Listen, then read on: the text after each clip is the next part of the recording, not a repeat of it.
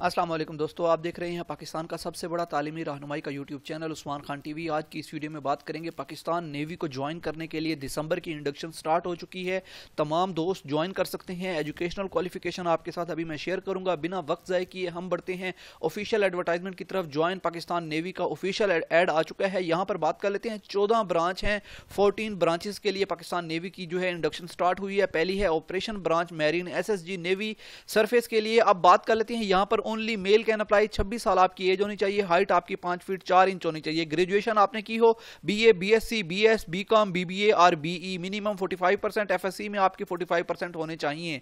दूसरी बात कर लेते हैं marine engineering branch marine engineering branch के लिए जो जो जेंडर है, वो only male can apply age सताइस साल हाइट आपकी पाँच फीट चार इंच और bachelor of engineering in mechanical engineering आपने किया हो और आपकी जो डिग्री है, वो एच रिकोगनाइज होनी चाहिए। आपकी यूनिवर्सिटी भी और आपकी डिग्री भी। वेपन इंजीनियरिंग ब्रांच के लिए ओनली मेल कैन अप्लाई सताइस साल एज है, पाँच फीट चार इंच आपकी हाइट है।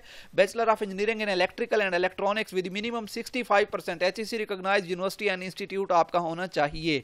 नेक्स्ट हम बात कर लेते हैं सप्लाई ब्रांच की। जेंडर ओनली मेल एज 26 साल 5 फीट 4 इंच आपकी height MBA BBA honours MCom MSc economics minimum 60 percent two point five आपका सीजीपीए हो या आपकी जो डिग्री है या आपकी जो यूनिवर्सिटी और इंस्टीट्यूट है वो एच रिकॉग्नाइज हो। देन उसके बाद है लॉ ब्रांच लॉ ब्रांच के लिए L L B L L M equal degree fifty percent marks H recognise institute degree और उसके बाद आपकी जो है वो practising member of of a bar आप होने चाहिए और इसके लिए एज जो है वो 40 परसेंट फोर्टी ईयर आपकी एज होनी चाहिए। मिनिमम ए हाइट आपकी 5 फीट 4 इंच होनी चाहिए। नेक्स्ट हम बात कर लेते हैं एजुकेशन ब्रांच की। एजुकेशन ब्रांच में only males can apply age आपकी 28 साल होनी चाहिए 5 फीट 4 इंच आपका कद होना चाहिए। M A M S C M C S B S आपने किया हो फ़र्स्ट डिवीज़न हो या बी ग्रेड हो। प्रेफरेंस प्रेफरेबली जो है वो आपने अगर बी एड किया है तो आप जो है वो ज़्यादा प्रेफर किया जाएगा। Mathematics physics computer science Pak studies Islamic studies chemistry English Urdu H E C recognise university institute second division या सी ग्रेड आपका जो है वो एक्सेप्टेबल है सिर्फ़ एम ए इंग्लिश के केस में। बाकी किसी केस में आपका एक्सेप्टेबल नहीं होगा।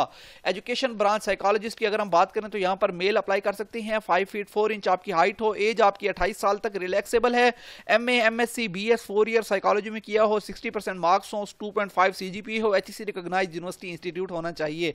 क्लिनिकल साइकोलॉजिस्ट को जो है वो प्रेफर किया जाएगा। उसके बाद स्पेशल ब्रांच आई टी के लिए मेल अप्लाई करेंगे। सताईस साल एज होगी। पाँच फीट चार इंच आपका जो है वो हाइट होगी B C S B S C B S I T M M C S M I T B E computer engineering वगैरह, ऐसा कोई भी आपने अगर कोर्स किया हुआ है तो आप अप्लाई कर सकते हैं। एच सी रिकोगनाइज आपकी यूनिवर्सिटी और इंस्टीट्यूट हो experience software development programming network designing administration वाले को प्रेफर किया जाएगा और 2.5 सीजीपीए मिनिमम होना चाहिए। स्पेशल ब्रांच पब्लिक रिलेशन के लिए जो है वो मीडिया साइंसेज में मैथ कम्युनिकेशन में मास्टर आपने किया हो mass communication media sciences journalism three CGPA होना चाहिए या इससे अबव होना चाहिए। हाइट आपकी फाइव फीट फोर इंच होनी चाहिए और आपकी जो एज है सत्ताईस साल तक रिलैक्सेबल है। उसके बाद है special branch platform design house PDH वालों के लिए मेल अप्लाई करेंगे। बत्तीस साल तक एज है और जिसने एमएस किया है और जिसने जो है वो बीई किया हुआ है, बैचलर ऑफ़ इंजीनियरिंग तो उसके लिए जो है वो अट्ठाईस साल तक एज रिलैक्सेबल है। फाइव फीट फोर इंच आपकी होनी चाहिए हाइट और एमएस किया हो आपने और आपका जो है वो सीजीपीए 2.5 हो और एचएससी रिकॉग्नाइज्ड होने चाहिए। मैकेनिकल इंजीनियरिंग, इलेक्ट्रॉनिक्स इंजीनियरिंग वाले अप्लाई करेंगे और अगर आपने बैचलर किया है तो उसके लिए आपका सीजीपीए 2.5 होना चाहिए या 60 परसेंट मार्क्स इलेक्ट्रॉनिक्स या मैकेनिकल में और उसके बाद जो नेक्स्ट चीज़ है, वो है हमारी मेडिकल ब्रांच एमबीबीएस बीडीएस वाले मेल अप्लाई करेंगे। 28 साल एज रिलैक्सेबल है 5 फीट 4 इंच हाइट होनी चाहिए। MBBS BDS minimum second division आपकी पीएमडीसी रिकॉग्नाइज्ड होनी चाहिए। इट डजंट मैटर के प्राइवेट है या गवर्नमेंट आपकी एमबीबीएस है, लेकिन पीएमडीसी से रिकॉग्नाइज्ड होनी चाहिए। नेक्स्ट हमारे पास आ जाते हैं मेडिकल ब्रांच स्पेशलिस्ट एमबीबीएस के बाद अगर आपने स्पेशलाइजेशन की एफसीपीएस एफआरसी एफआरसीएस एमआरसीपी या एमएस या एमडी फ़ील्ड आपको बता देता हूँ। Anaesthesia cardiac anaesthesia cardiologist dermatologist paeds registrar cardiac anesthesia, cardiac surgery registrar cardiac surgery registrar cardiology ophthalmology pathology psychiatry radiology and general surgeon अब यहाँ पर जो है वो एज आपकी 35 साल तक रिलैक्सेबल है 5 फीट 4 इंच मेल के लिए और 5 फीट जो है वो फीमेल के लिए जो हाइट है, वो एक्सेप्टेबल है और आप जो है वो मेल और फीमेल दोनों अप्लाई कर सकते हैं स्पेशलिस्ट ब्रांच के लिए।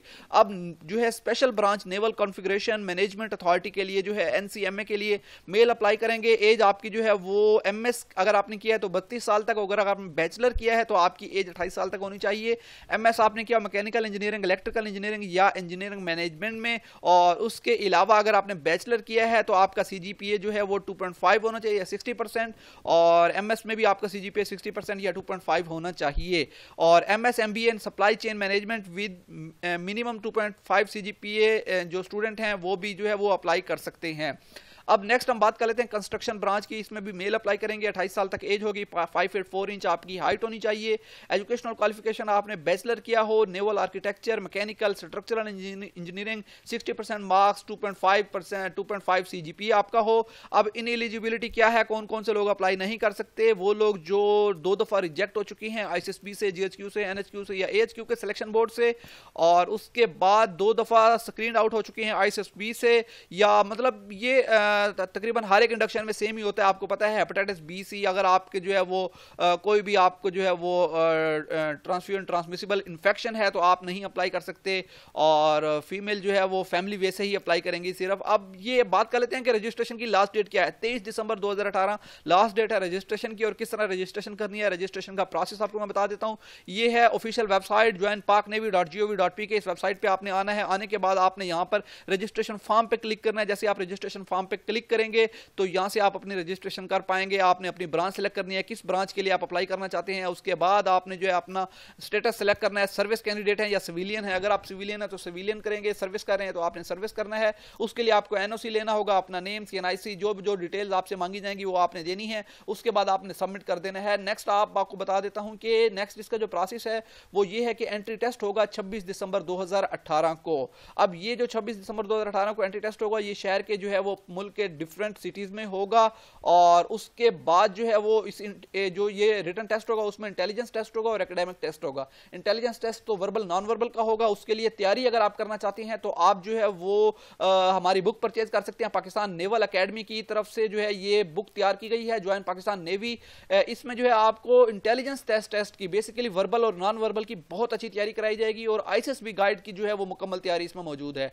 इसको परचेज करने का भी मैं आपको तरीका बता देता हूँ और उसके बाद जो है वो नेक्स्ट चीज़ है कि एग्जैक्ट डेट जो है वो एंट्री टेस्ट की वो आपको जो है वो एसएमएस के ज़रिए इन्फॉर्म की जाएगी और उसके बाद मेडिकल टेस्ट होगा इनिशियल मेडिकल होगा देन आपका इंटरव्यू होगा, उस इंटरव्यू के बाद आपका फ़िज़िकल टेस्ट होगा, जिसमें जो है वो एक शरे छः किलोमीटर की जो है वो रेस होगी, जिसको आपने साढ़े आठ मिनट में कवर करना है टेन रिपीटिशन होंगे पुशअप्स के टू मिनट में आपने कवर करनी है टेन रिपीटिशन होंगी सिटअप्स की, जिनको आपने टू मिनट में कवर करना है, और उसके बाद टू मिनट्स में आपने चिनअप्स टू रेपिटेशन कवर करनी है।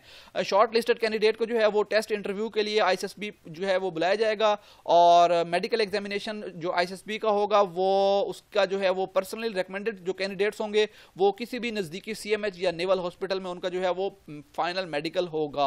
अब उसके बाद जो है आपकी फाइनल सिलेक्शन होगी और ये था मुकम्मल तरीका। इंटरव्यू होंगे पीएन सिलेक्शन बोर्ड पे और फाइनल सिलेक्शन जो है वो नेवल हेडक्वार्टर में ऑन मेरिट होगी आपकी ओवरऑल परफॉर्मेंस पे।